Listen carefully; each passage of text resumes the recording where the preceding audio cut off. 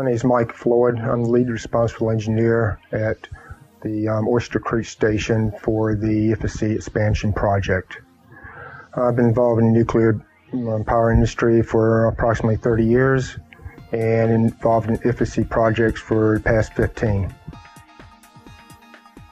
Looked at the Wheelift transporter mainly because we are out of space to expand our facility. We needed to put our HSMs closer together, approximately 40 feet from each other. Current um, transporter that has been used in the industry does not really allow much movement when you have less than 70 feet of space. Dorfer's Wheelift transporter can easily handle 40 feet and really all the way to 35, I would say.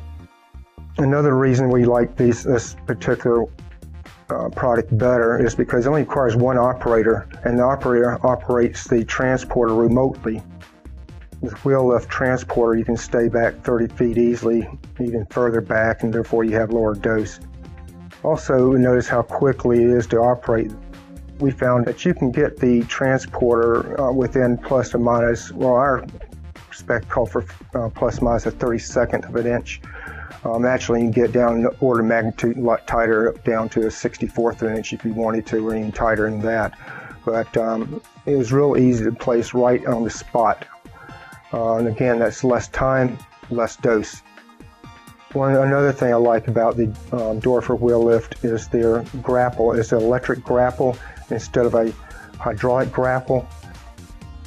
In our location at Oyster Creek, we have a very uh, small hatch in the reactor building, and we actually have to move the transporter while it's being while it's loading a transfer cask. And the Dorfer uh, Wheelift transporter allows us to move the transfer cask under control while it's being loaded. Another thing is the reliability of the transporter. Um, it has two sources of power, the diesel generator and also has a land line power system. So if either one goes wrong, you always have your backup, you know, another way of, of operating it. You don't have to rely upon one power source. The difference between having a tugger and a trailer versus a modular transporter, which has its own power supply on board, is really just negligible as far as cost and overall savings. Really comes down to it is dose savings, time savings, schedule savings, which is all savings in cost.